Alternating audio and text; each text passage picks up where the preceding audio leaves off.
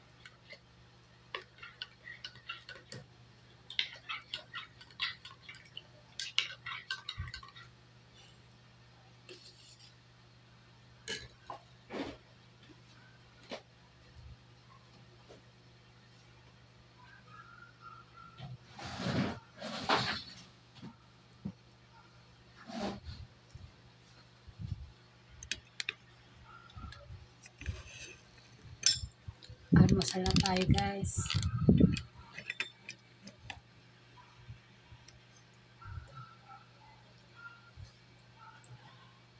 Tamalis. Sa Kapampangan, boboto. Tapos yan. Binili ko yung kaya nagising ako na maaga.